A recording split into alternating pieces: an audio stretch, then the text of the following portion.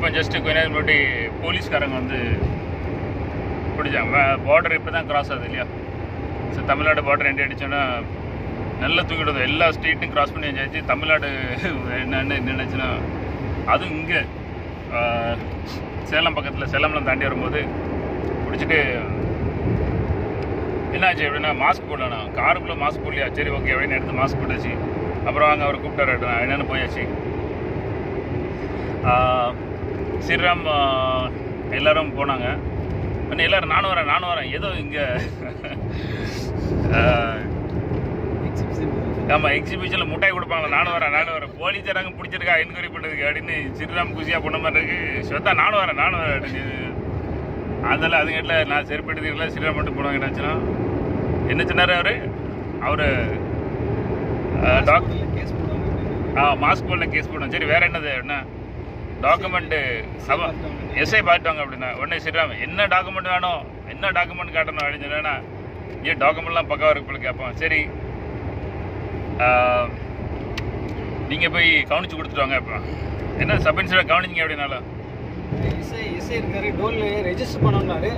Register பண்ணோம்னா எதுக்கு register பண்ண என்ன ரெஜிஸ்டர் பண்ண அதுக்கு என்ன வேணும்னு கேட்டேன் நான். இல்ல எஸ்ஐ போய் டோல்ல கிராஸ் பண்ணும்போது எஸ்ஐ பார்க்கணும். இல்ல நீ மாஸ்க் போடல கேஸ் போட்டாரு அப்படின்னா கேஸ் போடுவாரு. நூறுரூவா மட்டும் கவனிச்சு விட்டு போங்க அப்படின்னாரு. நூறுரூவா நூறுரூவா கவனிச்சு விட்டு போங்க. நூறுரூவா மட்டும் கொடுத்துட்டு போங்கன்னாரு. அப்புறம் தான் நீங்க என்னை பார்த்து வந்தீங்களா. அவர் வர வேண்டாம். அவர் வர செல்ல பார்த்துட்டே வர்றாரு. நீ போய் வாங்கிட்டு வாங்க அப்படின்னாரு. அதுக்கப்புறம் தான் சொன்னேன்.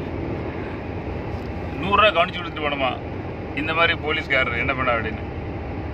நான் உடனே போனால் என்ன மேட்ரு அப்படின்னா இல்லை மாஸ்க் போடல அதுக்கு என்ன சின்ன இப்போ இல்லை அதுக்கு நூறுரூவா யாருக்கு கொடுக்கணும் அண்ணா? இல்லாட்டா ஃபைன் ஆகும். ஃபைனை போடுங்க. அதுக்கு ஏன் பைசா கேட்கீங்க அப்படின்னு? ஆ சரி வண்டி நம்பர் சொல்லுங்கள் இருந்தால் எழுதிக்க வண்டி நம்பர் ஆகிடும் சரி உங்களுக்கு ஃபைன் வரும். என்ன ஆர்டிக்காரங்க ஏன் மாஸ்க்கு ஃபைன் போட போகிறாங்க சரி என்ன பண்ணிட்டு போங்க அப்படின்னு. ஸோ அதை நான் ஃபைனை போடுங்க அப்படின்னு சொன்னேன். ஆ சரி நம்பர் சொல்லுங்க. நம்பர் சொல்லிட்டு அதில் வந்தாச்சு. உடனே போங்க போங்க அப்படின்னாச்சு. சரி வந்தாச்சு? எங்கேயுமே வந்து சில சோத்துக்கு பிச்சை எடுக்க போலீஸ்காரங்க இருப்பாங்க. அதாவது என்ன சொல்லுவாங்க பிச்சை எடுக்குன்னு யூனிஃபார்ம் போட்டு வந்து கேட்டுட்டு இருப்பாங்க சார் இவங்களுக்குலாம் மதிப்பு இல்லை. உண்மையான போலீஸர்ஸ் இருக்காங்க. மதிப்பு மரியாதை இருப்பாங்க. அவங்களுக்கு ஓகே பட் ஜென்ரலாக வந்து உள்ளவங்க வந்துட்டு அந்த மாதிரி பண்ண மாட்டாங்க. அது போலீஸ்காரை பார்த்தோன்னே தெரியும். இவன் துட்டுக்கு அடி போடுதான் அப்படின்னு. சில உண்மையிலே சட்டத்திட்டத்தை வந்து மதிக்கிற மாதிரி இருப்பாங்க. அது பார்த்தோன்னே தெரிஞ்சிடும். அவன் நம்மளை கண்டே பயப்படுவாங்க அவங்க. போன தோரணை என்னப்பா உனக்கு என்ன செய்யணும் அப்படின்னா தன்னால் பின்னாடி போயிடுவான். ஆனால் முதல்ல வந்து அவன் போலீஸ் எழுப்பின உடனே செம்ம மஜாவாக இருந்துச்சு. உடனே வாங்க வாங்க வாங்க. செம்ம என்டர்டெயினாக இருக்குது போலீஸார் வந்துட்டா எல்லாரும் வாங்க அப்படின்னு எல்லாரும் செம்ம குஷியாக இருந்தாங்க. ஏதாவது ஷேர் பண்ண முடியுமா? I missed the whole entertainment sir வர வேண்டாம் சொல்லிட்டாங்க. வண்டியில ஒரு ஆள் உட்காரணும்னு சொல்லிட்டாங்க. அதனால நான் வண்டியிலே உட்காந்துட்டேன் இல்லைன்னா அழகா அங்க போய் சார் வச்சு செய்யறத பார்த்துருக்கலாம். ஸோ இந்த மாதிரி நிறைய அனுபவங்கள். இதுக்கு முன்னாடி ஒரு இடத்துல வந்து அவர் போலீஸ்காரங்க பிடிக்கும்போது சார் கொஞ்ச நேரம் அவங்க நின்று பேசுறத கேட்டுக்கிட்டே இருந்தாங்க கேட்டுக்கிட்டே இருந்தாங்க.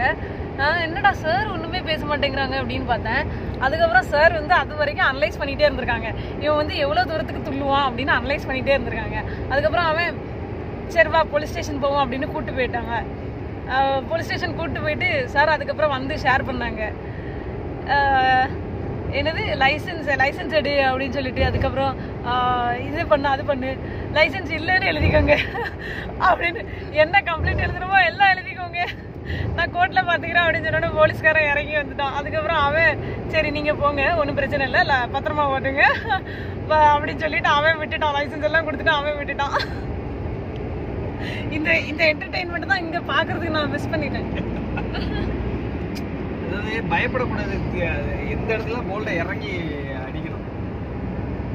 சார் இந்த மாதிரி தைரியமா ஹேண்டில் பண்றதுனால சார் கூட இருக்கிற பொண்ணுங்க நாங்களும் வந்து தைரியமா இந்த மாதிரி ஹேண்டில் பண்ற விஷயம் ஷேர் பண்ற விஷயம் இதெல்லாம் பார்த்துட்டு எங்களுக்கு பொண்ணுங்களுக்கும் எந்த இடத்த பார்த்தும் பயம் இல்லை. நாங்களும் எங்கனாலும் இறங்கியிருக்கோம் எங்களுக்கும் ஒரு ஐயோயோ மென்னிட்ட போய் பேசணுமா? அப்படிங்கிற பயமே இல்லை. நீ வந்து பாரு நான் வந்து பாக்குறேன் அப்படின்னு நின்றுருக்கோம் இல்லை இல்லை எப்போவுமே வந்துட்டு எப்போவுமே நம்ம ஜெயிப்போம் அப்படின்னு இல்லை. பட்டு சில இடத்துல அநியாயம் நடக்கும். ஸோ தப்பு என்ன சரி என்னன்னு பார்க்குறது ரொம்ப ரொம்ப முக்கியம். அதுதான் இதில் சொல்லப்படுற விஷயம் இப்போ கூட யூடியூப்பில் வந்துட்டு யாரோ வந்து கம்யூனிட்டி ஸ்ட்ரைக்ஸ் கொடுத்துருக்காங்க. அது ஏதோ ஏதாவது மேட்ரு அந்த மாதிரி. அப்போ உடனே பேசலாம் அப்படின்னு சொல்லிட்டு அவங்கள்ட்ட பேசும்போது ஒன்றே ஒன்று தான் சொல்லிச்சு. நம்ம வந்து என்னென்னு கண்டுபிடிப்போம் என்னென்னு பேசுவோம் அப்படின்னு. அப்போ வந்து நான் பொறுமையாக பேசினேன். என்ன மேட்ரு என்ன என்ன சிக்கல்? எல்லா நேரமும் நம்ம பெரிய பருப்பு மாதிரி இருப்போம் அப்படி சொல்ல முடியாது. ஏன்னா உண்மை என்னன்னு கண்டுபிடிக்கணும். உண்மை என்னன்னு கண்டுபிடிச்சதுக்கு அப்புறம் வந்து. அதுக்கப்புறம் நம்ம ஏறலாம். பட் உண்மை என்னன்னு தெரியாம நம்ம வந்து எதைக்கும் பேசக்கூடாது. அதனால அமைதியா அப்புறம் ம- நேர்மையா ஒழுங்கா அப்படின்னு கேட்கணும். அப்புறம் அவன் எல்லா வகையிலும் அணியா தான் பண்ணுதான் அப்படின்னு தெரிஞ்சுன்னா போல அவனுக்கு என்ன சின்ன அப்படின்னு. ஸ்வேதா சொன்ன மாதிரி என்னது? நீங்க சொல்லுங்க. சொன்ன மாதிரி சில இடத்துல வந்து போலீஸார் ரொம்ப அநியாயம் பண்ணுவானோ அப்போ வந்து உனக்கு என்ன செய்யணும் அப்படின்னு கேட்டான். அவன் சொன்னா இல்லை நான் கோர்ட்டில் ஃபைன் பண்ணுவேன். அது பண்ணா சரி ஓகே ஃபைன் போடு. சரி உன் லைசன்ஸ் கொண்டா அப்படின்னா. வேற என்ன வேணும்? ஆர்சி புக்கு அதெல்லாம் கொண்டா ஓகே ஒன்றுமே இல்லைன்னு எழுது நீ அப்படின்னு. அவன் அப்படி பார்த்தான். இவன் அவனுக்கு ம- இவனுக்கு மண்டை காஞ்சிட்டு மரக்கலான்ட்டு இவனுக்கு. ஏன்னா அவனுக்கு நல்லா தெரியுது நம்ம வந்து அநியாயம் பண்ணுறோம் அப்படின்னு. போலீஸ்காரன் வந்து அநியாயம் பண்ணுறான்னு அவன் நல்லா தெரியுது. அவன் சொ- அவன் நான் சொன்னேன் என்கிட்ட லைசன்ஸ் கிடையாது என்கிட்ட ஆர்சி புக் கிடையாது என்கிட்ட இன்சூரன்ஸ் கிடையாது. என்ன பண்ணணும் எழுது எழுது நீ. நான் உன்னை கோர்ட்லேருந்து பார்த்துட்டு எழுது அப்படின்னு. அவனே முழிச்சான் இவன் என்ன இப்படி பேசுகிறாரு இல்லை நீ எழுது நீ எழுதி எழுது. நான் எங்கே பார்க்கணுமோ நான் பார்த்துட்டு எழுது அப்படின்னு. கொஞ்ச நேரத்தில் அவன் லைசன்ஸ் கொடுத்துட்டு சரி போ நீ. இல்லை நான் எழுதுறேன். இல்லை இல்லை நீ போப்பா நீ. நான் உன்னை விடுறேன் நீ என்னப்பா பேசிட்டு அந்த மாதிரி. அதுக்கப்புறம் அதை போலீஸ்கார வந்துட்டு என்ன ஒரு ஃபங்க்ஷனில் வந்து விஏபியை கூப்பிட்டுருந்தாங்க. விஐபினா நான் என் திறமையெல்லாம் பாராட்டி கிடையாது. நான் டொனேஷன் கொடுத்தேன் அதனால என்னை கூப்பிட்டுருந்தாங்க. அந்த இதில் இவன் ரெண்டு பேரும் செக்யூரிட்டியாக வந்து நின்றுட்டு இருந்தானு. போலீஸ்காரர் ரெண்டு பேரும் அந்த கூட்டத்தில் நிற்பாங்களா அந்த மாதிரி. இவன் பார்த்தா ஏ இவன்ட்ட தான் சண்டை போட்டான். இவன் இதுக்கு தான் இவன் இப்படி வந்திருக்கான் அப்படின்னு. எங்கேயுமே ஒரு அதாவது முரட்டு தெனாவிட்டு சொல்ல வரல. ஆனால் அந்த எந்த சுச்சுவேஷன் அதை அனலைஸ் பண்ணும் சரியா தப்பா என்னது அப்படின்னு அனலைஸ் பண்ணணும். அப்படிங்கும்போது என்றைக்குமே பயங்கிறது இருக்காது. இப்போ வந்துட்டு ஹரி பார்த்துட்டு வந்தோம். ஹரி வந்து just pure and pure YouTube பார்த்தவங்க. பார்த்துட்டு பயங்கர சேஞ்சஸ் எதுனால? தில்லு தென்னவிட்டு அடுத்த லைன் அடுத்த லைன் அவ்வளோ வீடியோ நூற்றம்பது வீடியோ ஆஃப்லைனில் பண்ணி வச்சுருக்காங்க யூடியூப்பில் டைம் கிடைக்கணும்னா திரும்ப திரும்ப அதான் பார்க்குறதான். இன்னும் பயங்கர ஷாக்கிங் படித்த ஒரு விஷயம் அந்த தென்னவிட்டு தைரியம். எதுனாலும் நின்று ஃபேஸ் பண்ணுறது தான் மெயின் மேட்ரு ஏன்னா anything you want to share yeah sir வந்து ரெண்டு விஷயம் சொல்லி கொடுத்துருக்காங்க. அதாவது ஆஹ், எட எந்த இடத்துக்கு தகுந்தாப்புல நம்ம போகணும் அப்படின்னு சொல்லிட்டு எங்க இறங்கி அடிக்கணும் எங்க நம்மளுக்கு காரியம் நடக்கணும் அங்க சொல்லிட்டு போயிடணும் இப்போ வந்து ட்ரெயினில் வந்து டிக்கெட் இருக்குல்ல அப்போ வந்து நம்ம ஏதாவது ஒரு விஷயத்தில் நம்ம டிக்கெட்டு ஏதாவது ஒன்று ப்ராப்ளம் ஆயிடும் அப்போ சார் சொல்லுவாங்க என்ன ஆகும் போகுது மிஞ்சு மிஞ்சு போனால் டிடி வருவாங்க ஃபைனை கொடுத்தா விட்டுற வராங்க. எனக்கு ஃபஸ்ட்டு ஃபஸ்ட்டு இது கேட்கும் போது அவ்வளோ ஷாக் ஆயிட்டு. எதுக்கு பயப்படணும்? வேலை முடிஞ்சது நம்ம வேலை அந்த இடத்துக்கு போய் சேரணும். அவ்வளோதானே ஃபைனை கொடுத்துட்டா அதே ட்ரெயினில் போக போகிறோம் அப்படின்னு சொன்னாங்க. அதுலேருந்து அந்த டிக்கெட்டு மிஸ் பண்ணிட்டோமே அவசரத்தில் இதாயிட்டே அப்படின்னு சொல்லி கூட பயப்பட போகிறது கிடையாது. நேராக ஃபைன் எடுத்து நீட்டணும் சலான் கிழிச்சு தருவாங்க. எடுத்துட்டு நம்ம பாட்டுக்கு ட்ராவல் பண்ணி வந்துடணும். நம்ம வேலை முடிஞ்சுதான் அப்படின்னு. அவங்ககிட்ட சண்டை போட வேண்டாம் ஒன்றும் செய்ய வேண்டாம். யா ஒரு சிம்பிள் மேட்டர் இல்லையா? நம்ம வந்து டிக்கெட்டு வந்து சில எடுக்க முடியாத சூழ்நிலை இருக்கும். வண்டி டைம் மிஸ் ஆயிரும். ஏதாவது இருக்கலாம்.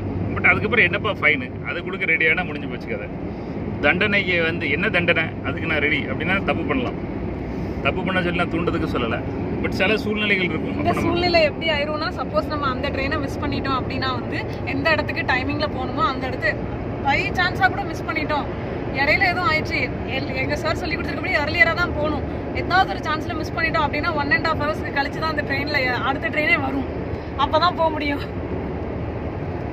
எஸ் ஸோ இதெல்லாம் சீரியஸாக வந்து கேட்டுக்கிட்டே மட்டும் கேட்டுக்கிட்டே ஒரு ஆள் டிரைவிங் பண்ணிட்டு இருக்காங்க. இதான் நாங்கள் போகிற ஹைவே தமிழ்நாடு நோக்கி போயிட்டு இருக்கு. நம்ம எங்கே கிராஸ் பண்ணி போயிட்டு இருக்கோம்? நியரஸ்ட் திண்டுக்கல் பக்கம் ரீச் ஆயிருக்கு. நேரே திண்டுக்கல். கரூர்லாம் தாண்டி போயிட்டோம் இல்லையா கரூர் அப்போவே பன்னெண்டு கிலோமீட்டர் இருந்துச்சு. அப்படியா சார்? ஆமாம் அப்போவே பார்த்தேன் பன்னெண்டு கிலோமீட்டர் ஸோ ஜஸ்ட் ட்ராவலிங் நேராக அன்றைக்கி ஸ்டே வந்து ஸ்ரீராம் வீட்டில் ஸோ நாளைக்கு எங்கள் வீடு? அம்மா பார்க்க போகிறோம் ரைட் இன்னைக்கு நல்ல இன்சிடென்ட்டு செம்மையாக இருந்துச்சு. எப்போ எந்த இன்சிடென்ட் போலீஸார் வந்து எழுப்புத உடனே ஆ வாங்க வாங்க செம்ம என்டர்டைன்மெண்ட் வாங்க எல்லாரும் முட்டாய் கொடுத்த மாதிரி நினச்சிக்கிறேன் இது இது நானும் வரேன் நானும் வரேன். அது போற போற தோரணையும் போய் கேட்ட தரலையே இதுல வந்து இதுகிட்டலாம் நம்ம ஏதாவது வம்பு பண்ணா நமக்கு தான் ஆபத்து அப்படின்னு போலீஸார் ஆ சரி போங்க போங்க போங்க அப்படின்னு சொன்னாங்க. ஒன்று நம்ம தப்பு பண்ணக்கூடாது. தப்பு பண்ண உனக்கு என்னடா செய்யணும் என்ன செய்யணும் அப்படின்னு எந்த விஷயத்துலையும் இறங்கி நின்று கேட்டோம் அப்படின்னா என்றைக்குமே நமக்கு பயம் கிடையாது.